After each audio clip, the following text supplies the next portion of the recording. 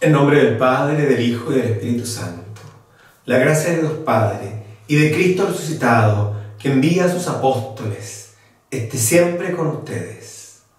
Del Evangelio según San Marcos.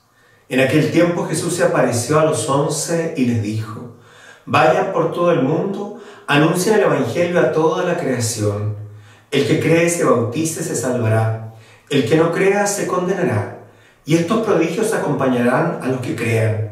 Arrojarán demonios en mi nombre y hablarán nuevas lenguas. Podrán tomar a las serpientes con sus manos y si beben un veneno mortal no les hará ningún daño. Impondrán las manos sobre los enfermos y los curarán. Después de pedirles esto, el Señor Jesús fue llevado al cielo y está sentado a la derecha de Dios. Ellos fueron a predicar por todas partes y el Señor los asistía y confirmaba su palabra con los milagros que la acompañaban. Al igual que los primeros seguidores de Jesús, hoy día es sobre nosotros, sobre quienes Jesús pronuncia esta sentencia, esta invitación, por cierto, ante todo, la de ir por todo el mundo a anunciar la buena noticia del Evangelio. Y Él asistirá a los que creamos, a los que confiemos en su misión, acompañándonos de su autoridad para poder validar esta tarea. Podremos hacer maravillas en nombre de Jesús, porque el Espíritu de Dios es el que estará en medio de nosotros animándonos en esta misión evangelizadora.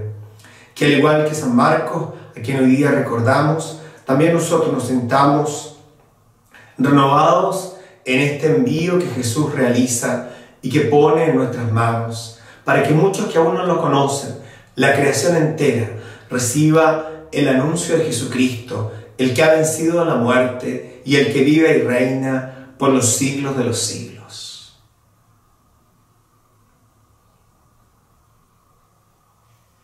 Creo, Jesús mío, que estás real y verdaderamente en el cielo y en el santísimo sacramento del altar te amo por sobre todas las cosas y deseo vivamente recibirte dentro de mi alma.